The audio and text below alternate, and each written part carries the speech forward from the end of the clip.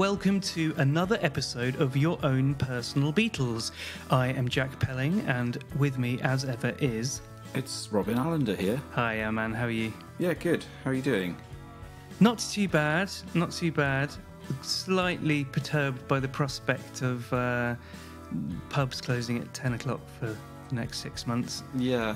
which is, you know, that's 360 hours of pub time, potential pub time that we're going to lose. I feel like it's just a deliberate attempt to kind of um, decrease morale at this point, isn't it? Like, you know, why are they doing Well, it? does. It feels like a bit of a personal attack, as they Yeah, are I always my favourite hours. The slightly hazy period between ten and eleven. Yeah. And also, isn't it just going to encourage, encourage people, oh, just come back to mine and have a few cans? Yeah, Yeah. and let's go to the pub at five instead of yeah. six. Yeah. Oh, dear. But you know, hey ho. Um, Remember when pubs used to close at 10 on Sundays? I suppose some still do. yeah, That was a hang up yeah. from the Blitz, wasn't it? They just forgot to put it back afterwards. it doesn't so, surprise me. So I'm it's a bit worried that that's going to happen. rule. You know, if things go back to normal, they'll just forget to put it back. I did quite like it when I worked in the bar though, because on Sunday nights you only had the real dedicated booze hounds. Yeah. So the 10 o'clock bell was always quite welcome. but um, yeah, this week we've got a, another fantastic episode with Jonno, a writer, a comedian, and a third of the comedy trio Sheeps. Uh, this was a really, really fun one. yeah, it was great, and it was the first one we'd done kind of all in the room together. And uh, it was, you know, a few cans were drunk, and yeah, it was good. It was pretty discursive. I was worried that I'd listen back to it and think we sounded tipsy, but um, I don't think we did sound too. No, I tipsy. think we managed to sort of hit the sweet spot a little bit. Um, Yeah. And there's a little bit of talking over each other towards the end, but I think let's call it No, you listen to me. There was none of that. no, it's more sort of um, exuberance than Yes, yes, inebriation. yes, um, so yeah, there's loads of great chat. We start off talking about Shakespeare for some reason, Yeah, so do bear with us. But we move that- swiftly onto the Beatles. We talk about Jonno's love of um, the mid period specifically, Hmm. uh, and then we move on to all sorts of things, including sort of metal um, and Only Fools and Horses. yeah, which- sitcoms. Yeah, that was. I suppose Beatles and comedy is obviously going to be a recurring thing um, on this podcast. But yeah, there's some ch- chat about Only Fools and Horses. There's a good Yeah. anecdote about Del Boy falling through the bar. that was quite funny. Um, so before we crack on with that, um, you've got a little bit of uh, correspondence. To... Yeah, the first thing I was going to do is just give a little plug. Um, one of, when we started the podcast, one of the first people to follow us on the social medias was a chap called Joe who runs a uh, social media account called Beatles Books on Instagram, which is a really amazing account because his his extraordinary scope of Beatles books he's got there is is pretty unprecedented, and he's also yeah, just pretty started. a- baffling. it is great, isn't it? It's like I'm sure he's invented some, but he's just started Hmm. a, a podcast um, under the same same name, Beatles Books. So yeah, give that a plug. Um, I'm sure that's Nice, I'll check that out. podcast. Yeah, it's great. Uh, but speaking of um, Beatles books, my friend Ed Dowie, and Ed is um, a brilliant musician. He's got an amazing album out. Well, it came out a few years ago called The Uncle Sold um, on Lost Map. But um, I'd love to have him on actually. Uh, but he's he said he's got two books about the Beatles, and one of them was called The Murder of John Lennon, and the other one is a book he found on the street called Paul McCartney Behind the Myth. Have you ever heard of this book? I have not. No. it's written by a Daily Express columnist, and he can't hide his roots. Just read this bit. So it was about Paul. Had he bothered to acquire the intellectual self discipline necessary to complete his A levels successfully, the trite flaccidity of many of his later song lyrics might have been avoided, and disasters like Magical Mystery Tour and Give My Regards to Broad Street might have been avoided. it's quite. Um, Who, it's very. who wrote this? this So this is a guy goon? called Ross Benson, and this is his author's bio. it's very Partridge. Ross Benson is a close friend of many of the Beatles' intimates and advisors, knows Ringo Starr, and lists Bianca Jagger among his friends. He got to know Paul, he got to know Paul McCartney in 1980 when McCartney was in prison in Japan. He was the only British journalist allowed into the jail when McCartney was being held, and his exclusive reports made front page news. So Well, yeah, that's go. great. Um, this is a. Can I read you a couple more extracts, Edison? Because they're Please, quite yeah. funny. I really, really want to hear them. On 14th of August 1960, the Beatles, yet to become the most profitable small specified business Liverpool ever produced. Such a weird way to describe them. It's very, very Partridge. Was on its mm. way to being discovered in Germany. Like Liverpool, Hamburg is a port with a long and prosperous past. They are both situated at the latitude 53 degrees north. There the comparison ends. That's really oddly specific. Oh, that's great. He keeps going on about how they were a, a profitable small business. I know it's such a weird take. yeah. Fantastic. Yeah. Um, well, thanks to everyone else who got in touch. Um, and as always, you can keep in touch with us on social media at Personal Beatles on Twitter and Facebook and Instagram. Uh, and if you want to email the show, you can go to personalbeatles.com forward slash contact. Um, you can also support the show by going to personalbeatles.com forward slash donate. Um, a few more people have done it this week, and we're really, really grateful. Uh, it helps us keep going and plan, you know, bigger and better things. So really ex- exciting and helpful, as is rating the show on Apple Podcasts and Acast. And we're now available on Amazon Music. Um, I don't think I've ever met anyone who listens to Amazon Music, but if you are a new listener, oh well, there you go. Yeah. Hello, Yeah. hello, one person. I was going to say as Um, well. Uh, should we? Can I mention our weird discovery about Spotify, which is that we kind of occasionally make an edit when we've made a, compl- you know, particularly bad mistake in a podcast. but we noticed that the edits don't seem to go through to Spotify. So you're listening. If you're listening on Spotify, then you are hearing the unexpurgated drivel, like Yeah, more exactly. more rubbish than normal. Sorry it's like a director's cut, but a bad director's Yeah, cut. yeah. Yeah. Like yeah. Alien 3. It's more like a um, bloopers reel. Yeah, exactly. Um, right, let's crack on with Jonno, and uh, we'll be back at the end of the show. Please enjoy Jonno from Sheeps.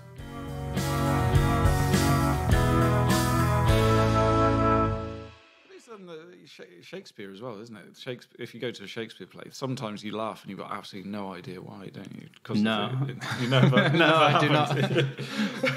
Interestingly, I find I don't. but you, you- well, it's the kind of thing an English teacher, when an English teacher would go there and say Chuckle, they chuckle yeah. because they get the joke. Sure. But sometimes, like I you think go, they're pretending. But that's that actually. performative. la- That's Yeah. the laugh that I think I like the least in the world. Is the laugh where You're sh- you go, you you're just you want everyone else to know. yeah, Any any like any voluntary laugh, I think, is no good. Yeah, you just yeah. don't. It's mm. horrible to hear. Yeah, it's You like, think, well, you that. could have not done it. yeah, yeah. Like, Yeah, yeah. But I do think some if you do go and see a good Shakespeare like production, if it that just the even if you don't understand it, there are certain intonations which are funny or, or like timings. I think. Sure. Do, you think so? Yeah, but I think people at work. A lot of times, people are. This is this is not me. This is not my you know my taking a stance against Shakespeare. you know, because I know he he could easily snap back about some of my stuff. I, I, you know, I know I'm leaving myself wide open, and this guy's known for being good with words. You don't listen much to in the the same way as his podcast. nemesis me. yeah, yeah. But um, yeah, when when are you getting Shakespeare in here? Oh, yeah. Shakespeare calmly ages. dismantles. Uh, yeah. No. Yeah. But I do, I do think like uh, you know a lot of pro- a lot of uh, comedy productions of Shakespeare, the performances are like almost pantomime big in order Yeah. to be like, well, I feel like you maybe don't have confidence in the material, material, here, yeah, or yeah. you don't. Not, it's not that it's not funny, but it's just like I think you maybe aren't comfortable enough letting just Yeah, leaving yeah. the joke there for the audience to I pick mean, up. Yeah, there's a lot of kind of thrusting at at any kind of sexual Yeah. innuendo. Yeah. yeah, and also the thing that uh, the thing I find funny is, is when people like act out uh, on a, uh, when people resort to acting out each word individually within a sentence, Yeah, yeah. like to the point of just well, I like going to the theatre, but I I'm if I were being honest, I would say nine times out of ten. I mean, this is the worst thing to possibly be saying at this moment in time when the, like the arts are in such Yeah. danger from a government that Yeah, doesn't yeah. care and clearly should. And but uh, but for me, nine times out of ten, and this is also also true of comedy shows, and I suspect would be true if I watched any of my own comedy shows. Nine times out of ten, I feel like I would leave. Yeah. At the interval and read the what Yeah, happens the rest of it. 'cause yeah. I'm like, Oh, I get how they do it, and then now I'll just find out what happens on the bus. Do you know that Sara, Sara Pascoe does a really brilliant bit about going to the theatre? You don't actually enjoy it at the end. That feeling you have is just the relief that it's over. You know, it's just so good. There's that great episode true. of Peep Show where they go and sort of watch a play above a pub and they start whispering to each other, being like, we could be at home watching Heat. like we're watching Robert De Niro and Al Pacino, but we're here. That's great. But um, one thing I find weird, so to bring it onto the Beatles in a slightly Oh, that band, segue, yes, yes. yeah, I always find it weird watching old Beatles live shows that everyone is sitting down, and I now am at the age where I sit down at a gig. Yeah. Right. Yeah, Yeah, I like seeing is that. that your preference? Yeah, I love it. I absolutely love it. I well also because it just gets rid of my main uh, worry in life, and this is not just this is in absolutely every element of life. I just don't know what to do with my hands any of the time, and it's like it's hell being in a crowd stood around people. You just I, I my instinct is to just have my arms behind my back. I'm acting it out, which is famously fantastic for this medium. But uh, I'd like tie my hands round each other behind my back and just bob and hope that I don't don't get knocked over. Mm. My idea would be there's a bit at the front where people can stand, and I've sort of seated above them watching. In your ivory tower. sometimes, like yeah, in my ivory tower, because sometimes Sure. the band will play better if there are people right at the front moshing or jumping Yeah, around. think Yeah. that's definitely But true. I don't want to be there. I want So, to be. and they'd play. You don't think the band would be distracted by the hovering gentleman on the, the chair? That would, to me, I wouldn't be able to keep time. Well, you know, I'd be. I'm invisible as well. So. Oh, okay, yeah. Fine. I considered walking out when Paul McCartney last did the O2 for the little standing bit at the front, Oh yeah. um, yeah. but then I just couldn't justify it. But you know, I mean, it probably is the last time, especially with like the current environment, might be the last time you see him. But I, that was the first the time that I broke my O2 embargo was to go and see him a couple of years ago, Right. and we were, you know, for what you're paying, you are a long way away, and it was testament to Paul that he can like make you come away from watching that show in a seat like that and thinking Yeah. you've had the best night ever. by Yeah. uh, essentially, you know, holding the leveraging the threat that he might die over you. Yeah, yeah, At some point of like, do you want to not see me? Yeah, well, I'd much, I mean, I'd much rather pay that to see him in a big field Yeah. Yeah, than Uh, than at the O2. Have you ever seen Paul? I've not no, and uh, that is, uh, yeah, that, that's something I'm afraid of all the time. It's it's a similar situation to I had a, a friend of mine uh, had tickets for Prince, one of the, probably the last time he was in the UK, and uh, I didn't get tickets. He did, and he got ill on the day, and he offered me the tickets, and I was so excited. And then about two hours before the show, he got in contact with me and said, "I'm feeling a lot better. I'm going to go." Oh. And I think about it all the uh, time. What If there's dick some way I could have got him know- out of commission for a Do bit you know, longer. my, my was a, I went to Glastonbury 2009, and hmm. Neil Young was playing, Yeah, yeah. and I went to see Animal Collective. Why'd you do? Why'd you do that then? I don't know. At the time, oh well, you know, I'm not. This isn't to diss Animal Collective, but yeah, I don't know. I might never get the chance to see Neil Young again. No. And that was, I don't know what was That's going an through my head. Yeah. Yeah. A guy I was on a stag do once went to go and see Prince at Ronnie Scott's and he queued up for, you know, 24 hours or something Hmm. and saw this like, absolutely explosive show. And then he went and hid in the toilet because he was doing two shows.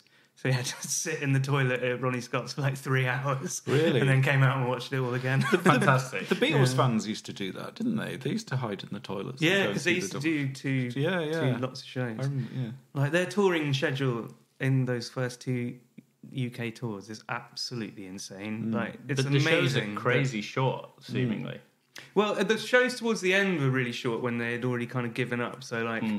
especially on that massive 1966 tour where they play the same set list for you know Yeah. nine months, but it's only sort of 12 two-minute songs that uh, were then Yeah. four years old or whatever. Yeah, the songs were just so short as well. Well, it's not. I mean, ev- under hmm. three, all of them under three minutes, really, aren't they? And it was I don't know what the rationale behind the set list was, but because you know they'd made sort of Rubber Soul and Revolver, and hmm. obviously there are tracks that you can't do hmm. live.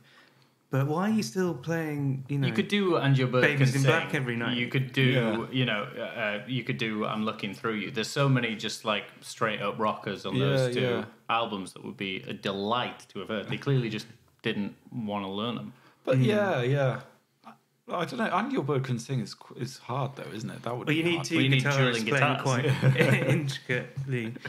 Yeah. Um, what's do you have a favourite era of Beatles then?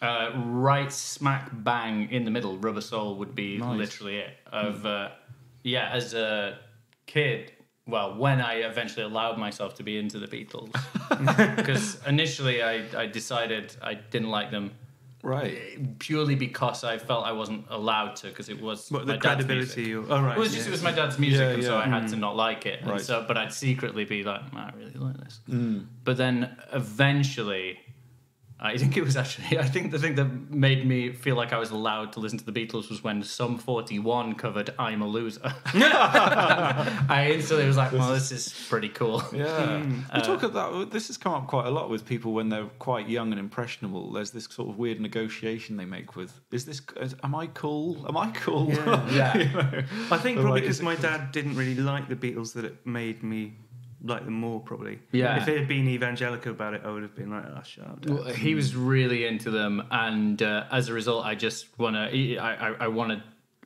to. I wanted to be different.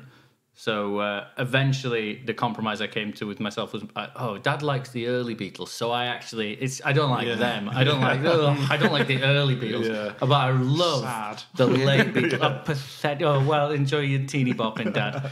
I'm listening to the the the big music, uh, the serious music. But And, you were uh, introduced to them by Sum 41. Kind of. Well, yeah. sort of. well, I was I was reintroduced to them as you're allowed to like them by Sum 41. Yeah, Even yeah. though the track they uh, are playing is from Beatles for Sale, Hmm. it's I still.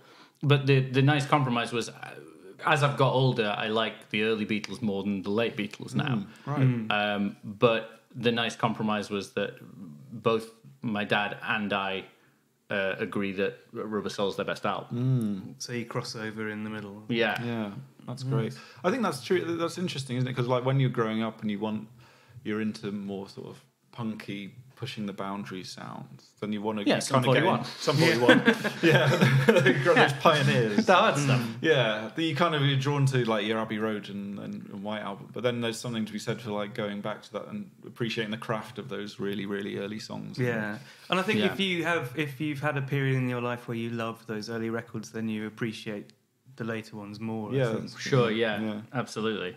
Right, definitely the way that you know, if you listen to something like "Oh Darling," which is band in the room stuff, Mm. you know that you get that sort of that sort of really nice warm sense of familiarity of them, especially when you know that they're not getting on. Yeah. it always worked when it was the four of them in the room, Yeah. and that's like and the- one after 909 as well. Was the, Yeah, well, That's well, I mean that one of the was the kind of concept. think they wasn't wrote. Yeah, for- but They did it a lot later. yeah, they did it. It's on Let It Be, isn't it? Yeah. It's- it's- it's- But I, I think it's I think it's one of those where they uh, they sort of you know they're putting out so many songs they forget Mm. for the better part of a decade, and one of the other ones just says like uh, Michelle from Rubber Soul, Mm. uh, where it was like a joke song that McCartney would play at a party when he it just his party piece was pretending to be French. Yeah, I don't know what, but he but he didn't know. But he was like, I read, I read an interview when he was like, but the only word I knew in French was Michel, and I was like, well, that's not a French, that's not a French word. So I don't know what he was playing at.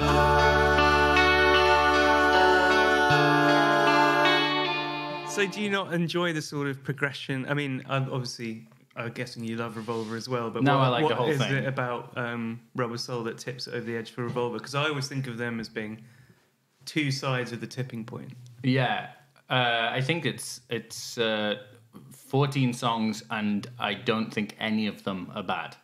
And uh, there are bits of Revolver if I find myself skipping through. Uh, I don't. I don't. I actually don't like the opening track on either of those albums. I don't Taxman. like Taxman. I don't like Drive My Car. Really? Yeah. Yeah. We, I'm just. It just Kinda seems with to like. I don't know. It feels lame, but probably in the way that uh, anything that's super influential and loads of people have Hmm. taken off when you listen back just doesn't sound original. I feel like, well, I don't want. I don't want this from the Beatles. Yeah. There and I, I listened back to Rubber Soul all the way through for the first time intently the other day, and it did make me think. Actually, I don't listen to this enough. Yeah. but one yeah. thing that I and I texted you about it was that I find the they'd obviously got these volume pedals that they got Oh, obsessed yeah. with, Yeah, and they're yeah. excruciating. on on help they are as well. The volume. yeah, pedal. they're on help Yeah. as well. But I think it's in. Um, is it in the word or something like that? And they're Yeah, yeah, so out of time, Right. and they just I sound loved the word. Is, horrible. I was thinking the word is the Beatles' funkiest song. yeah, I think you're the right. The word is brilliant. that tambourine and that nice like It's quite. It's got to be up there. Yeah, it's got to be up Got to there. be up there. the jazz funk. I'll give you. I'll give you top ten without even looking into it. what else? Where else do they go into funk? I think the. I believe they're the funkiest band that's ever lived. Yeah, definitely. are, Yeah, Yeah. yeah. They sold their soul for funk, I believe. When people say funk, they think Beatles, really. Yeah. Yeah, yeah. Oh yeah, like yeah, White I, love, I love funk, like Beatles shit. Yeah. Yeah, Beatles. Yeah. Yeah. Oh, I'm on that Beatles shit. One question that we ask everyone on the podcast is: Do you have a controversial Beatles opinion? Uh, I, I, I, I do, and it, it, it started. I, uh, I, I texted Mae Martin this morning to let her know this was going to be my one, and it's not going to be popular in this room. I already know it. Okay. I think Ob-La-Di Ob-La-Da is great. Oh, no, nice. it's not. and I know you. I know you had a big problem with it. I think the arrangement on the White Album is terrible and doesn't do it any favors. I think if I think the if you listen to sequencing of the tracks. no the arrangement of the song, Right. Right. Uh, in the if you listen to it on. Uh, if you listen to the, I, I didn't like it until I heard it on You, you like the ver- on yesterday the film. You didn't like the song. I like- heard yesterday the film, and then the one. oh yeah, oh yeah, yeah, yeah. That's my, my favorite. I, I Needs more worked Sheeran. backwards from that. I'm Yeah. from the world of that film. right, yeah, yeah. and then I never crossed listened to the over, Beatles Sure, before, yes. and I was surprised to be like, okay, I gotta get on board with these three. yeah. The other one, yeah, okay. Um, yeah, the uh, uh, the if you listen to it on Anthology Three, it's they play it pretty. Uh, it's a pretty straight performance, just strumming away at the guitar. It's not like you know, it it it it, sounds far less. Um, uh, cringe when he's not when all of the chords aren't upstrokes on the offbeat Yeah, and suddenly right. it's just strumming straight and he's doing less of a he's not like he's doing a he's kind of doing a bit of a voice on He is the a little album, but he's yeah. not on millimeters Anthology away 3 from Yeah. full sort of Jim Davidson. yeah, it's, it's, Yeah. it's it's but it's far less problematic. On Anthology Three, it just sounds like a great. I mean, John shouts a mad bit at the start of it, and uh, you can't get away from the. It still sounds weird him saying "bra," but the the rest of the song I think is is great and is it's super catchy and it's a far better version and I I love it. Yes, sir. Take one United Jungle Band. Desmond has a barrow in the marketplace.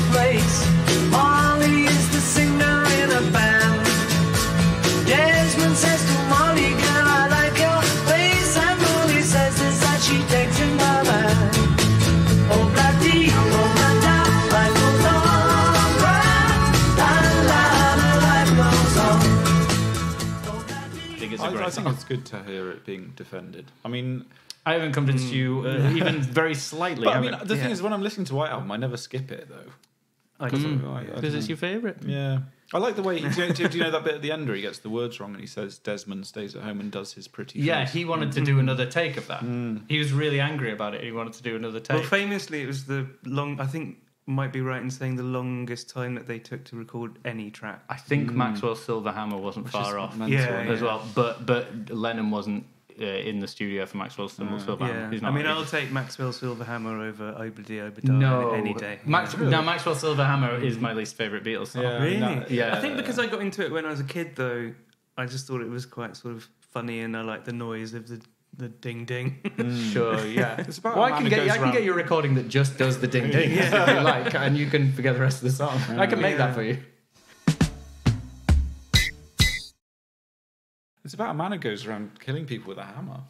I think that's Do you- what I was quite intrigued because I think kids like that sort of like slightly macabre. Yeah. Yeah. Do you, do you know what he said? You know, he says pataphysical at the start. What? That's the first thing he says. Yeah. What Joan was quizzical. Studied the- pataphysicals. Is it pataphysical? No. I think that's that thing where you know when you learn a new word, you got to quickly, Yeah. you got to you mm. got to use it or you're gonna lose it. Yeah, and he's quickly. I'm Yeah. gonna write a song. It's probably why he laughs in the line because he's so pleased with himself. Yeah. Pataphysics is a is a difficult to define. This is Wikipedia. First sentence. Difficult to define philosophy of science invented by French writer Alfred Jarry. Sounds like Wikipedia's been put on the spot. Yeah, yeah. and that sounds Pataphys- retroactively. I mean, uh, history works influenced by pathology, pathophysiology. Let's go down to that bit. Okay. It's got to say Maxwell Silverhammer. No, it was a, select pieces from Marcel Duchamp and John Cage on right. okay. situationism. Oh, so he would have music, got it out yeah. of the sort of happenings at the Yeah. Roundhouse, or whatever. Uh, the Maxwell Silverhammer on the Beatles album Abbey Road Pataphysical Science is mentioned as a course of study for Maxwell Edison's first victim, Joan. Joan. Yeah. Yeah, using the word victim makes it sound a bit more true. grisly.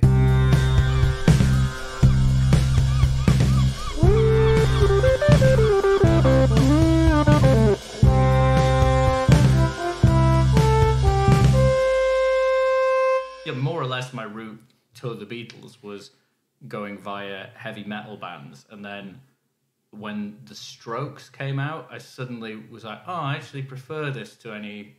I prefer this to Megadeth and mm. Slayer and Anthrax and Pantera." And I, j- this, in some ways, sounds heavier to me. Mm. And uh, then I was, it, that made me feel like it was okay to like any kind of music because the Strokes was considered soft amongst mm. my Yeah. group of friends.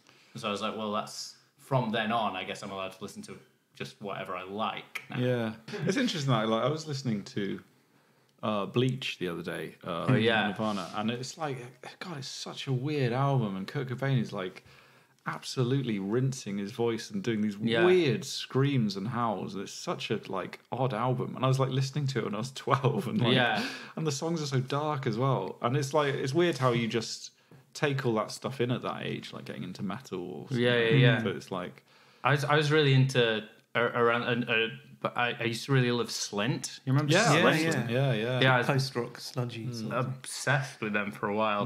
Um, That's when I saw them live. Of, well, because you know they were doing the whole reunion Hmm. thing. I saw it was just amazing. It was brilliant, and because so Really? many people like obsessed with Spiderland, that Hmm. Yeah. it was like literally like almost ecstatic. People like sort of singing along to the riffs or something, or like cheering at. well, like, because there's you no know- that you can't really sing along No, to the you can't. words. like, it's just a guy chatting at you. Yeah, it was very that was calmly. So fucking good. It was brilliant. I used to look at that. I just something. I, I I used to just listen to it and just look at that album cover of Spiderland. I taken just taken by Will Oldham that photograph. I don't know who that is. Yeah, Bonnie Prince Billy. Yeah. Oh, Yeah. oh, cool. because they're from that Louis, Louisville, uh, Kentucky scene. They all Yeah. kind of started together at the oh, same around the same time. Yeah, Was like it. Kurt Cobain always a massive? He was more of a Lennon person than a Beatles person, or was he really into Beatles? he would love the Beatles. yeah. He, he I like want to hold your hand was his favorite, so I guess he's Yeah. like a Lennon guy. But he, he only re- he mainly talks about the early Beatles. Weirdly, yeah. He grew up thinking that they were still around, and he Oh, was really? really, sad when he realised that it, was, it was all over. Yeah, no. I think he Oh. had the records and stuff, and he thought they were kind of still around. I can't. be- I can't imagine that. Yeah. Yeah. I, I would, w- next time he does a show, I'll try and talk to him after. yeah, sure. Yeah, About try and that. grab him. Yeah, Yeah. we should get him on the podcast. actually. Yeah. yeah. But he, I think he's got. I mean, like, yeah. And when he was doing Nevermind, like Butch Vig, it was all about trying The to make double his tracking was- voice as double, yeah, like Yeah. Lennon-esque as possible. But I think mm. Cobain has got a very. I mean, it's amazing how he can just suddenly get these melodies from nowhere. You know, like mm. "Drain You" or something, or mm. you know, there are just some even songs on Bleach that just they suddenly go into these almost McCartney-esque melodies. Yeah, yeah. Yeah. About a Girl's very sort of Yeah. Beatles for Saley. era, yeah, it? yeah. Yeah, that, about a girl's one of those songs where you think if you know if if it was yeah if it was recorded by any other artist, it would sound like a just a, an almost like wimpy pop mm. song. Yeah, Like, yeah. it's kind of mm. really soft. Mm. But that was, I think, that's But why so they nice. sort of appealed to so many people in their early. Because uh, I mean, it is just basically pop music that is just given a sort of slightly rougher Yeah. sandpaper, Yeah. and you know, all of those melodies are just as well constructed as Yeah. any of those like McCartney things. and- Yeah. She gives me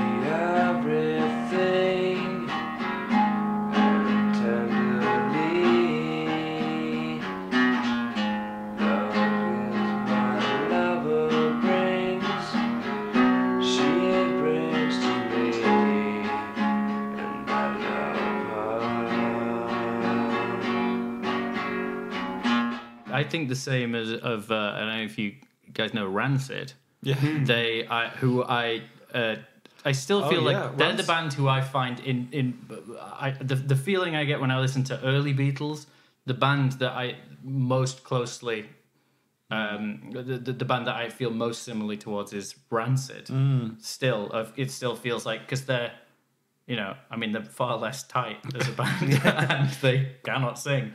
But the vibe is that that like that energy and the uh, just a, a group of yeah, but like, together. I mean, so much punk. Like, well, obviously, you know, there is a whole genre of pop punk, but like Rancid, like Ruby Soho, that is classic pop. Oh it? yeah, That's it's so good. Like they song. wrote the they wrote that third uh, Pink album, Yeah. and when it came out, I was like, yeah, this makes Yeah. perfect sense. Is that the one with? No, that's the album after. But yeah, the, the, the one with the uh, the one with Trouble on it, Oh, right, which yeah. could you know Trouble's could good, be yeah. a rancid song. Yeah. It's only the fact that he you know sounds like he's been gargling glass Yeah. that makes it not Yeah. a pop track. It's quite strange that the Beatles' sort of flirtation with heavy metal and their part in pioneering it was so sort of fleeting, really. Though, What Helter Skelter? well, Helter Skelter for sure, and like definitely like you know stuff like "She's So Heavy." That breakdown is mm. you know as heavy as it, it was possible to get. Yeah. But then they sort of abandoned it very quickly. I mean, there's nothing on McCartney that you could say is like remotely No. heavy metally. Yeah. But maybe that was a reaction against the sort of rise of the Led Zeppelins and Aerosmiths or whatever. but I, I kind of think I I think uh, similarly to how I feel about Peter Cook in comedy, in that he's sort of certainly up until uh, I would I would argue up until more or less The Office, uh, basically everything that happened in comedy from Beyond the Fringe until 2001. Yeah. Peter Cook had done some version Yeah. of. Sort of creates the satire boom. Then it's like even like Derek and Clive is way, way, way ahead of Yeah, its time. Like way more. Uh, it's like you know. Gross out humor or kind of. extreme- Yeah, it's like yeah. but more than like something like I'm, I'm trying to think of an example. More f- goes much further than the young ones Oh, or, yeah. or bottom yeah. or something Yeah, like that, yeah, and yeah. that's like you know twenty Yeah. years earlier. Similarly, there's a theory that Black Sabbath invented every kind of metal, isn't there? Right. There's, there's like doom metal. There's like I could thrash, easily be convinced by that. Yeah. I, yeah, I could very quickly be convinced by that. Um, Were they Beatles people, Sabbath?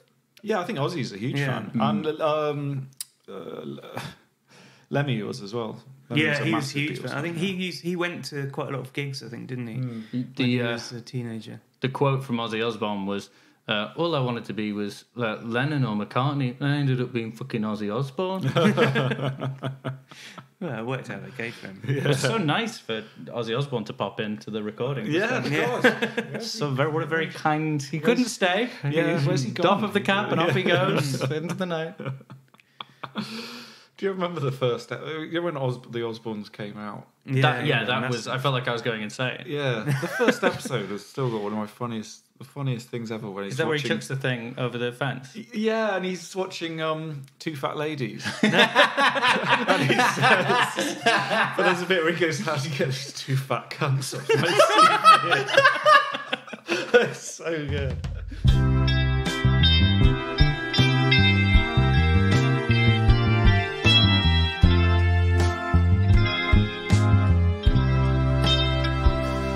Was Peter Cook as as like uh, your current sort of life as a writer and comedian? It was he more of a formative influence than like Python or anything like that for you? No, I, I, I no, I just like I, I, I would never really sit down for any period of time to listen to him. Although I, I, I enjoyed the uh, Twelve Days of Christmas, Sir Arthur Streeb-Greebling stuff, and the Why Bother series with Chris Morris, which again is like he should be he should be by by rights. Peter Cook should be about thirty years irrelevant by that point, and he's Yeah. right very comfortable riffing with this guy who's at the absolute forefront of comedy Yeah, in the yeah. mid 90s at that point. Yeah.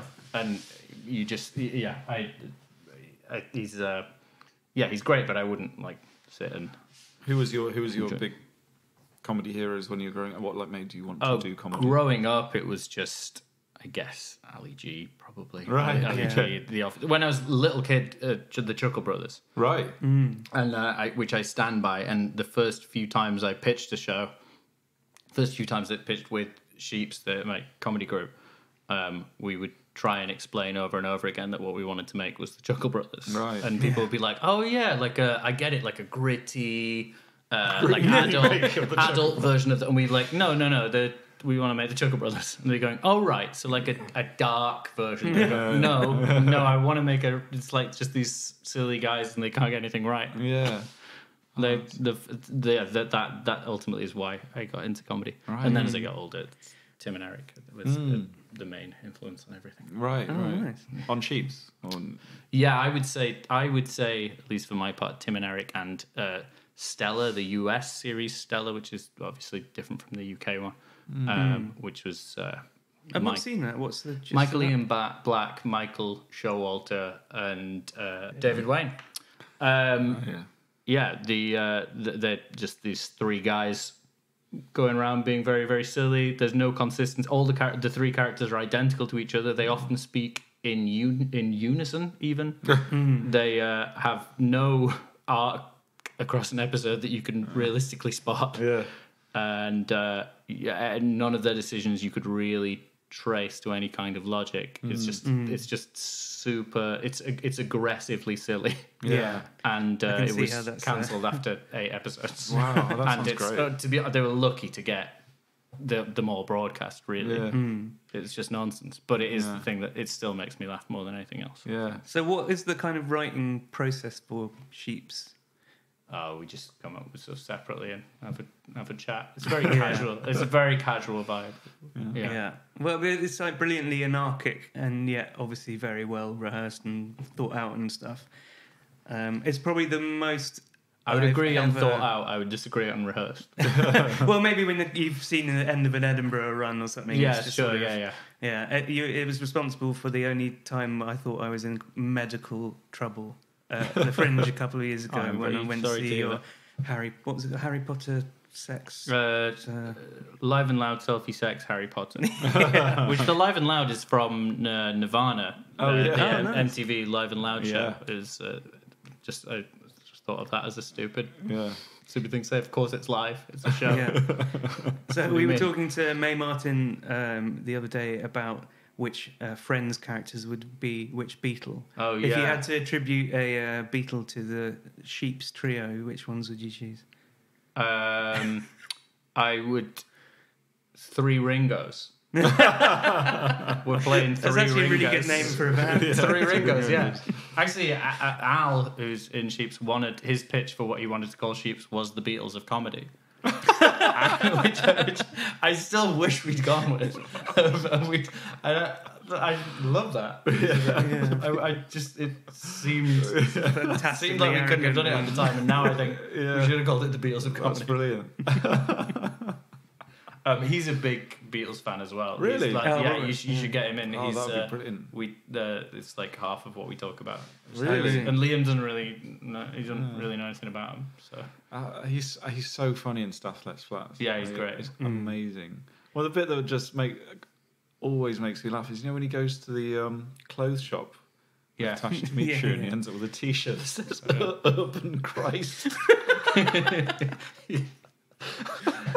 Hey, he's great. I, I, he's, I think he's one of the funniest people I've ever met. right. He really is. So I assume Liam gets a little bit fed up with um, your constant Beatles chat then if he's the third wheel in the Beatles. But then me and Liam talk about Only Fools and Horses almost all of the time. Really, And Al doesn't. Al don't, I don't think Al's even seen the show. really. Yeah, That's we're just obsessed with it. I don't think either of us like it, Yeah. but we talk about it a lot. Do you, do you, is that because you know it really? Super yeah, well? it's Right. just like a, a, yeah, just every episode from being a kid. yeah, Yeah. Just I mean, that, this is probably my controversial opinion, but you know, as a kid, I'm sure you guys were similar as comedy nerds growing up. Anything with a laugh track, I would watch. Yeah. Rem- didn't matter how good it was, but the hmm. only thing I never liked was Only Fools and Horses. Right. Oh really? I'd watch the Brittas Empire and the Real oh, McCoy, and then it would. horses could be very very funny. Yeah. But it's Do you just think one of those I'm things just- that went on far too long. Yeah, and I also yeah the the version I remember is the later years Oh, it could be very very. with Oh, the, yeah. I mean, the there- there was millionaire good and stuff. ending or whatever. Oh, that does those last ones I I can't be I cannot be doing with them last ones. Mm. I've got a very vivid memory of my parents were out and they'd set the video to record Only Fools and Horses, and I'd sort of fannied around with the video player or the VHS, Yeah, yeah.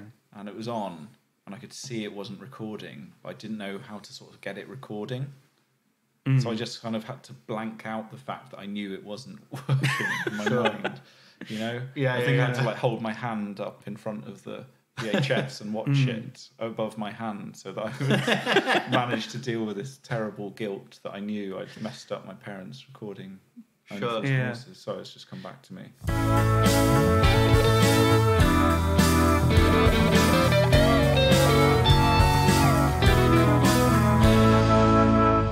I like most about uh, Ringo is when the, the first album he did after the Beatles broke up, all three of the others contributed songs to his album. Yeah, Yeah, yeah. they all. Which they, none of them. It seems like even even when Harrison started sleeping with Ringo's wife, Yeah.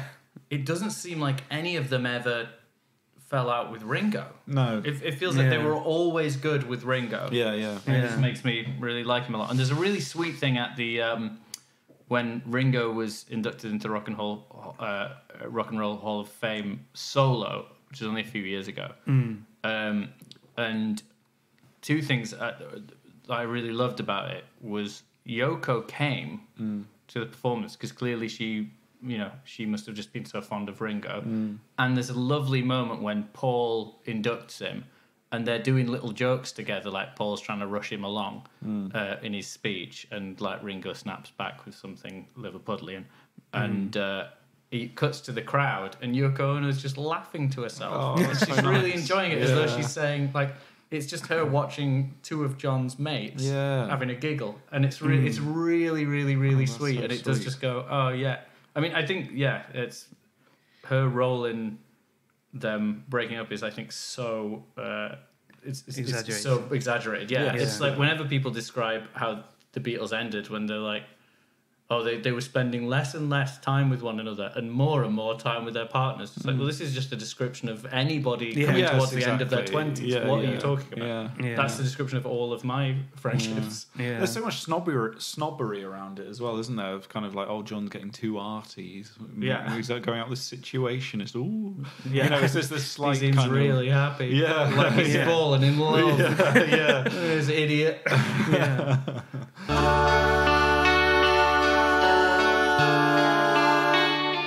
Thinking about John's sort of joy that he used to get from sort of being mischievous in a way, mm. and it's the sort mm. of I think the Paul and John thing we talk about so much, but it's the difference between cheekiness mm. and mischievousness. Yeah, yeah. Um, right. Um, and because there's something How are you defining actually- that difference? Well, I think because Paul could be flippant and he could be sort of, you know, a bit hard work and Yeah. you know, and, and, and undercut everyone in interviews. But it was also always done with such a kind of playful, boyish charm. Whereas something though John's was always a bit more sort of acerbic and. But I think Paul was maybe more secure.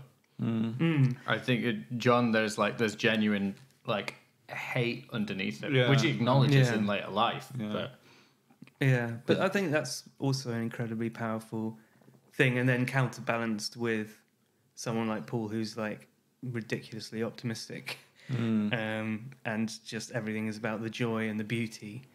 That you know that that's the yin and the yang of why it works so well, I suppose, isn't it? yeah, but I but I often yeah I, I often think that Paul, uh, who is the one I identify with most and the one I admire the most and just I absolutely love him. He's the I I- I just think there's no way Paul could possibly have made it by himself. No, and, and I and I say that believing that he's the best of them. yeah, Not even as a mu- musician, I think he's like you know obviously he's the best singer and bassist, or arguably best singer, but he's maybe the best guitarist and maybe the best drummer Yeah, in the yeah. band Yeah, as yeah, well. yeah. He's like and and the only real pianist in the band. yeah, Of, uh, but I just don't think he's just he's not got that thing that Lennon has that would make people go, "Ooh, what's this then?" They would mm. just go, "Oh, it's another talented guy. Mm. yeah. Who yeah. cares?" Mm. And I think he was well aware of that as well, which is why he was so desperate to keep the band going. It was kind of for his artistic self-preservation, Yeah. as well as his sort of want for you know the legacy or whatever. And then he was constantly. I mean, Ian MacDonald. We can't go through a podcast without mentioning Ian MacDonald. I don't think, but he talks about it really well, and his like his desperate need to connect with someone who had a more, you know, edgy artistic sensibility that he never was able to. Yeah, there is recapture. like a real insecurity to McCartney, isn't there? I was thinking Hmm. that because you know, "Let It Be Naked" uh, as a project was Paul McCartney going back to a record he'd made thirty years ago, Hmm. and like literally cutting and pasting words that had been pronounced wrong and stuff Yeah, like that. yeah. So you know, which is great, and I think the Let It Be Naked project is really good. But like Yeah. Paul McCartney has got a real like, yeah, there's an insecurity there about that must have haunted him for thirty years. I think he was trying Yeah. to win an argument. I Yeah, think yeah. because Yeah. because the the whole Get Back project is his idea. Yeah. and he's like, no, we've got to, and it do, doesn't become what he wants. He doesn't Yeah. like Phil Spector. He doesn't like Allen Klein at that time. Yeah. He's like pretending to be the first one to leave the band, Mm. even though John's already said it like six months earlier that he's leaving. yeah. And uh, it, but he didn't have any control of how the album ended, and I think because that period of time is characterized so much by his absolute pathological need to be completely in control.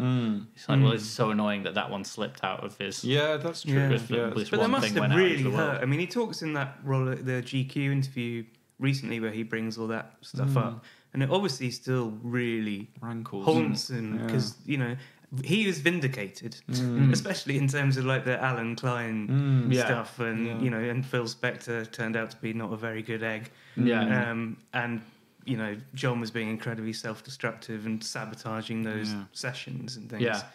So you know, you would think that the you know the vindication would be enough, but Mm. yeah, to then to go back and you know patch it all up, Yeah. and also Yeah. they weren't working with much like on those records. Like we've said lots of times that I'm a big fan of of Let It Be, Mm. but when you listen to Let It Be Naked, you realise that the bare bones of those sessions is pretty poor. Yeah. Mm. Like George's, you know, stuff like um, George's slide playing, which is usually, you know, I think for me, behind Ry Cooder is the best slide guitarist ever Right. to Mm, yeah. record slide on record. And the difference between what he's playing on that record and what he puts down on um, Living in the Material World, which is only a couple of years later, is Mm. unbelievable. So you can tell his heart's not really in it, and you Yeah. can sort of Yeah. you can sense the frustration of it massively. And I think Yeah, I It mean was- the, yeah, the it's like a- Harrison songs on Let It, like the, the what's the twelve bar blues one?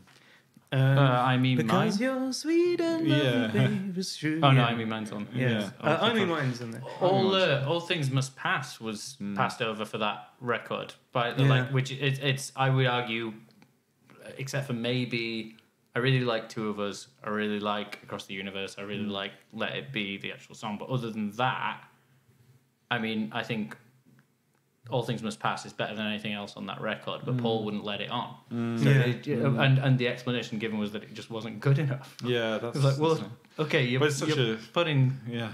But then also years like McCartney uh, as well by doing Naked, he you know he took off the Maggie May and he took off uh, Yeah. Dig It, the like the and jam all of the little sort of goony interludes. It doesn't even start with the sort of I I, dig a pygmy. Yeah, thing, yeah, and I, th- I get the impression as well because he took off the bit before Let It Be where Lennon says something like you know, "Hark- and now we're going to sing out the angels. yeah, yeah, Yeah, well, that's because he like- used to take the piss out of the song so much for Yeah, being. He was but like, it's something you sing at Catholic school or whatever. Yeah. But that you can just imagine like the decision to take that off thirty years later. yeah Well, it's, It's I think like because they were put in 20, in yeah. such a. Paul had no control over the sequencing of the record. Yeah, yeah, yeah. sure and all of that stuff was put in just to be a bit twatty by Mm. Yeah. Lennon. So, you know, I, I could because that's the version I grew up with. I quite like the sort of little Peter Sellersy interludes. Yeah. and Yeah. all of that stuff. It looks, it feels like they're having fun to my ears, but then when you read about it and you realise he's actually bullying. him, Yeah. I often It think that being as fun. re-including uh, "Don't Let Me Down" on Yeah. "Naked," I think is almost a concession to be like. I think it's his like peace offering to the Lennon Yes, fan base yeah, because of yeah. Him taking so much more control back. He's like, well, I'll give them a whole Yeah, song yeah, yeah. Yeah. that wasn't on the original as an apology. I love apology. that song though. As well. But it's so Yeah, I it's love weird. it. It's like, do you know William Wordsworth when he, he wrote the Prelude, hmm. and he wrote different editions of it, and one's like eighteen twelve. And one's like eighteen fourteen. Then he did another one like eighteen fifty six or something. So just let it go. Yeah. let it be. Yeah. But how can you? It's weird. Like, is it the same thing if you come back to it after that same length, uh, after that length of time? Just because, you know, But I guess his argument would be that it wasn't anyway because it was all done after the fact by Spector, Mm, right, like yes, because yeah. it was meant that that Get Back album just didn't happen. yeah, yeah, But it's like I, maybe it's just if, if U2 do it every almost every album that U2 releases, or every two or three albums they release one, and then when the singles come out for the album, they release there's like fifty remixes of the single. yeah. and they start saying in interviews, they always say, "We we put the we did the album wrong. I'm so sorry. We did the album Yeah, wrong." yeah. They did it with like they did it with Achtung Baby. They did it Yeah. with uh, Pop, which is a great album. They did it, a lot of it with the, uh, Dismantle an Atomic Bomb. Yeah. They Yeah. they're really uh, That's- obsessive about redoing That's really stuff. what's interesting about, say, Life of Pablo, the Kanye West album. Yeah. was He was literally, cha- you know, because it's on streaming, you could literally take this version Up off and put until that down. morning, yeah. You know, so like uh, he he completely changed what an album even means there. Yeah. Because now, you know, It's inter- I mean, the same with those remixes. It's like I don't think I'm ever going to go back to listen to. I've got two versions of Sergeant Pepper over there, and one hmm. is the one that my mum bought in 1967, hmm. Yeah. and the other one's the remix of that. I'm never going to listen to that original mix of it because No. it's not as good. Hmm. Like, it doesn't sound as good. yeah. Um, and, but then, yeah, you are changing the artifact. Like, Yeah. you know, it's the same as you know. No, you can't get the original Star Wars cuts because George Lucas has tried Yeah. all he can. And I think that's a big thing with the Paul stuff because he fought so hard to get control back yeah. over the stuff after the whole Allen Klein debacle and then Michael Jackson stealing it all. yeah. Um, so when once he got it back, he was like, okay, now we've got to do, you know, all of the fix all of these little mistakes and stuff. Yeah, sure. But as long as those two versions of the record exist, then yeah, Yeah. yeah, take your yeah. pick. Yeah. uh, he's he's constantly revising even facts about the. I mean, he's the, the one of the reasons why there was a, not unreasonable period of time in which I was, uh, or I should say, not not inconsiderable. There was an, a not inconsiderable amount of time in which I was convinced by the Paul is dead theories, Right. because. Uh, whenever you hear him in an interview, he, he's got a different explanation as to how he came up with a song. Right, every yeah, every yeah, time yeah. you hear him, and it's always usually uh, he- he's just trying to creep in a bit more credit for the song Yeah, now yeah. that and, and I don't think it's out of spite. I think it is like just yeah, kind of double think of Yeah. he, he's, Well, he's it's the- the convinced of- himself now.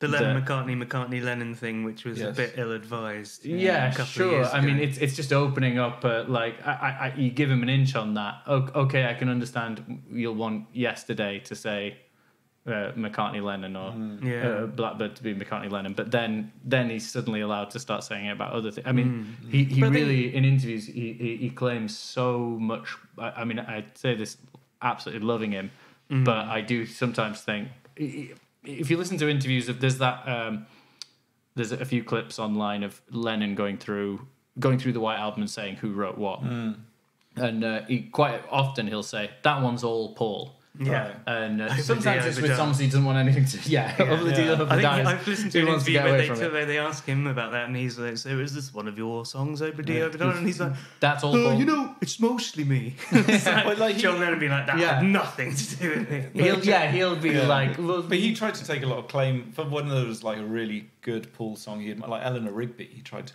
claim he wrote like most of that. I think.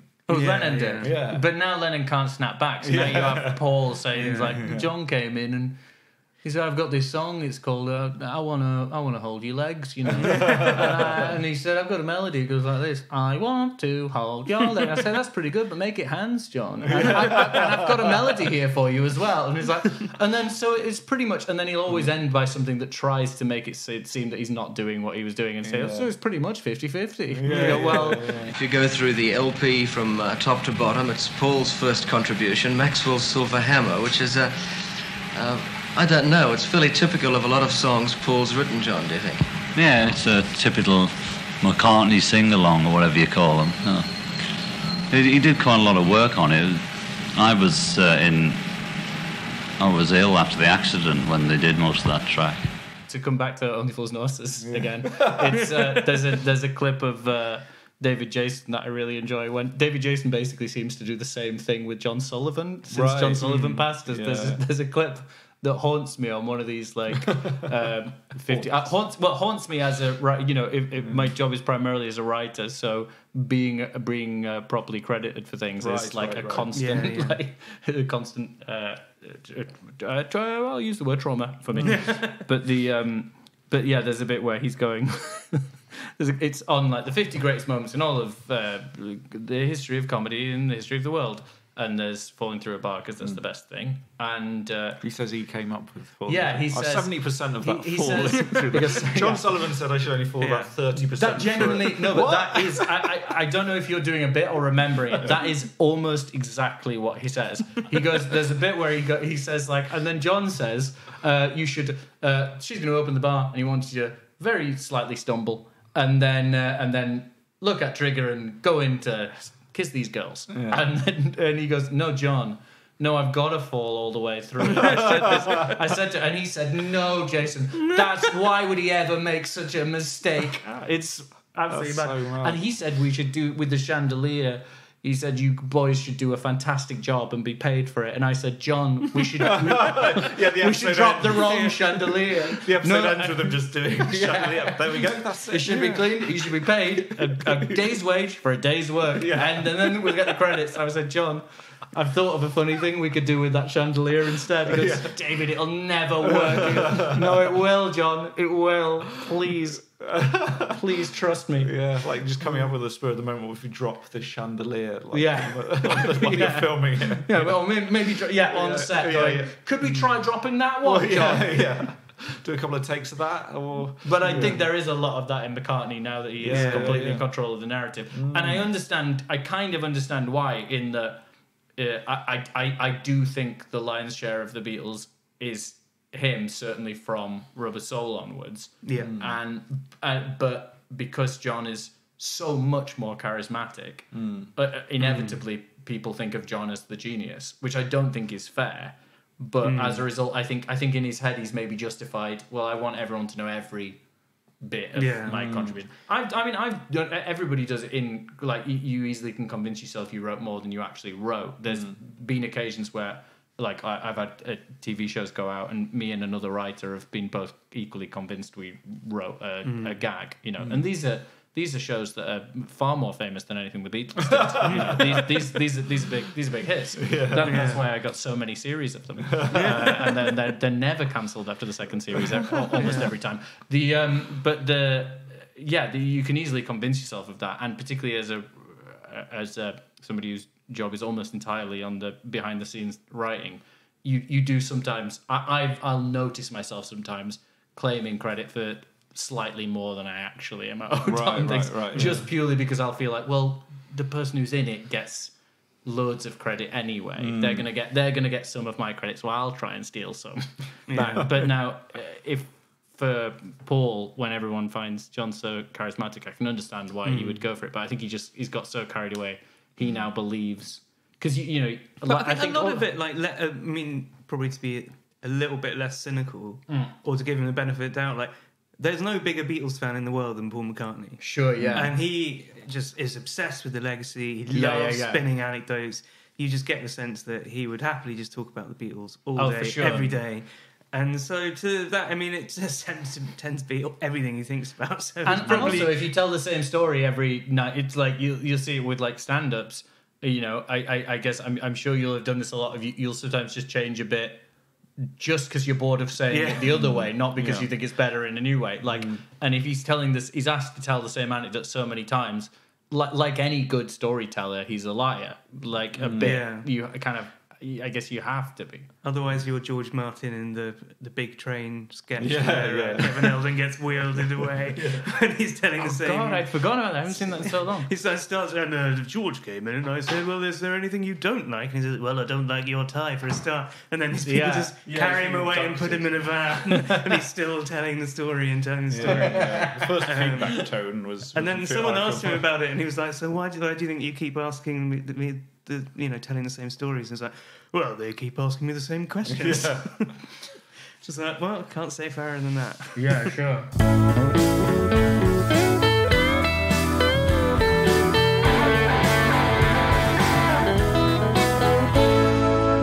So apparently, Paul's a big, uh, big Beatles fan. That's seamless. Yeah. No, th- this was just uh, regarding. I think it's it's it's a question that v- very few people, maybe none, in the history of the world could possibly answer. Is what on earth does Paul McCartney want from a day? I think he just loves being Paul McCartney, doesn't he? He Yeah, just- but I mean, yeah. But I don't, but no matter because even when he puts out a really good album, like uh, uh, Flaming Pie, I think is great. Yeah. Uh, Band on the Run, I think is great. Um, Chaos and Creation, I really like. Yeah, that's great. Um, I, I know you, you you mentioned it on the uh, on May's episode, but yeah, I, I, that's I really brilliant, like that album. I quite like the most recent one with that that I do not like the song "Fuck You," but Yeah. the uh, the one that's it's like Ryan Tedder. I think he produced a lot of it, which he also did with. Um, uh, Songs of Innocence by U2, and, um, and, and on both of them, I like the album, but they sound kind of like a Ryan Tedder album. Yeah. Um, but uh, I think yeah, I, I, I, I, I, even when he puts out a good album, like what's what's when he listens back to it, it would be so tough to not go, huh? Sorry, I mean it's not.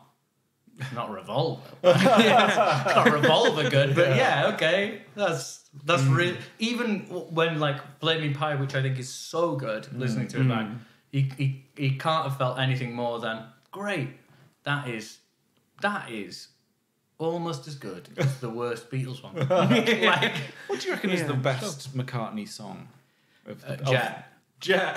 Yeah, and, Yeah, and I'm not even joking. Really? Jet Jet kicks the shit out of me. Jet Jet fucking I just- slams. I can Yeah. listen to Jet twenty times in a row and I'll still feel The first time I heard it was Alan Partridge jumping Yeah, on a yeah. bed and bouncing. when you when he plays it live, people go mad Really? for Really? Oh, I would I would go ape shit Yeah. if I if I always remember the funny. It's, I mean, Also, it's, I mean, I It's- like it's the got ones the that are sort of classic- cringy. I think I No, love but I mean, my what's- love and uh, Right, sweet. maybe I, I- am amazed and Okay, those yeah. big Oh, ballady that's so nice. That's the first time I heard that was in the OC.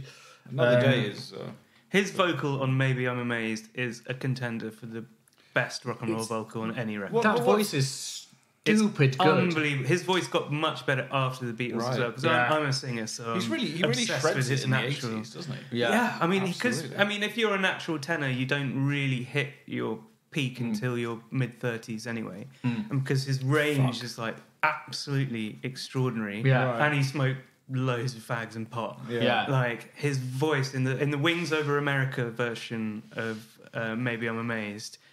And his piano playing as well is Yeah, absolutely yeah. fantastic. It's just extraordinary. It's But like- what- what it's is the Fred- best- beats Freddie Mercury for anything live. Shut up, really? Freddie Mercury used to cheat live all Oh, the time. well, What do you mean? he would always bottle high notes. He was an amazing oh, performer, Oh, right. but as a singer, Well, his, Yeah, he he would used go down to- the he octave. he just would go, go down the octave Or or go into falsetto. Yeah, he would use Oh, to- he would go down the octave used or he'd hit the fifth or something. yeah. Whereas Paul, We'll even keep on fighting. yeah, exactly. till the he's end. an absolutely unbelievable. I mean, obviously Freddie Mercury is an incredible singer, but he's a studio That'll mean singer a lot more than he's a live singer. Um, But yeah, Paul's live stuff is just nuts. right, you Yeah. think Paul is a better singer than Freddie Mercury?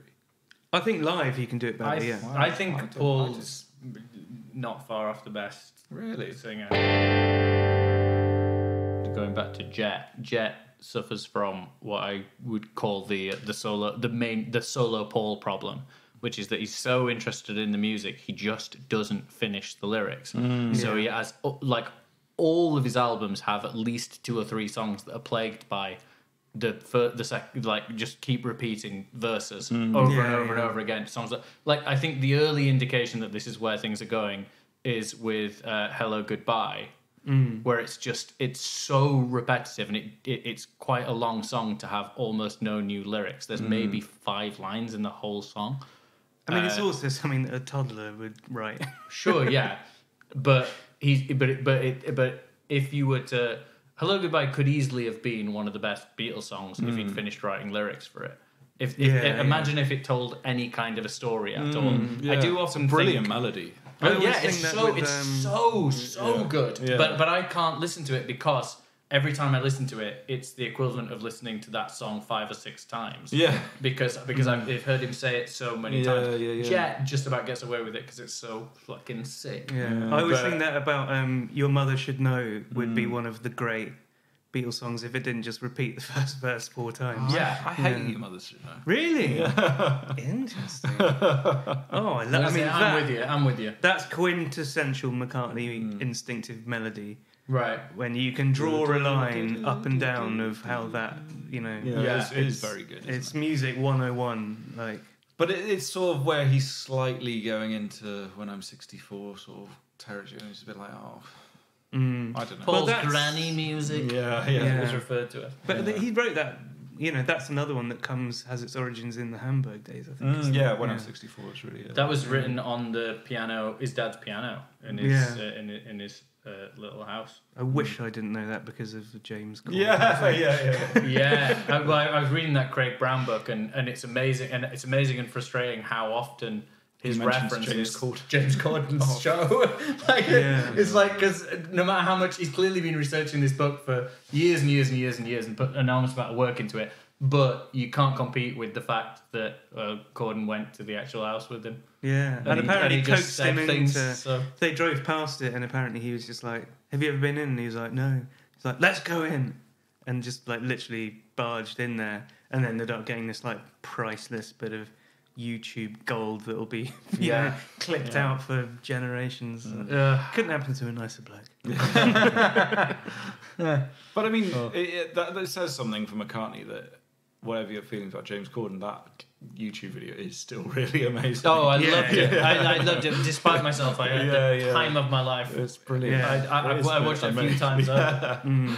Yeah, it's great. It's yeah, it's it's nobody nobody could ever do nobody could ever do anything ten percent as significant in popular music as what they did, uh, or I mean as much to as many people. It's just impossible now, and uh, yeah, seeing any of them do anything, it really hmm. is like. Uh, it, it really is God's walking among us. Hmm. It's hmm. as close as there is to such a thing. It's yeah, it's insane.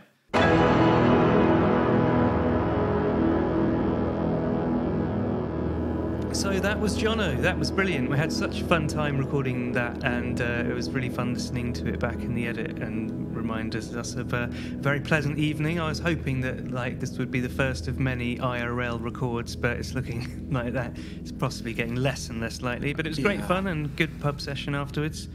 Yeah, the con- conversation continued. So thank you so much to Jonno for coming on. And if you enjoyed that, we're also going to be speaking to another member of Sheeps uh, in a couple of weeks, Al Roberts, who you might also oh know from goodness. Stath Lets Flats, and also, uh, as Jonno describes in there, one of the funniest people on the planet.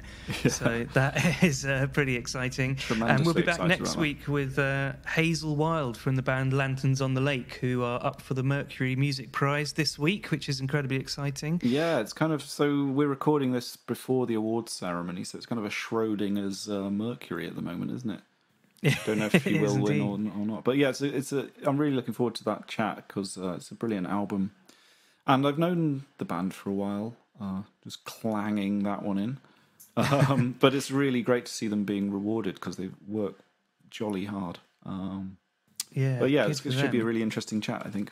Yeah, so please join us next Tuesday where we'll be talking to Hazel Wilde and uh, keep in touch and keep your emails coming in. We always love to read them. We do read everything, even if we don't have time to read it out. So uh, thank you very much for listening. Please give us a nice five star rating if you enjoyed the show and see you next week. Bye. Your Own Personal Beatles is presented by Jack Pelling and Robin Allender. The podcast artwork is done by Morgan Ritchie. It's produced by me, Jack Pelling, and is a homespun sounds production.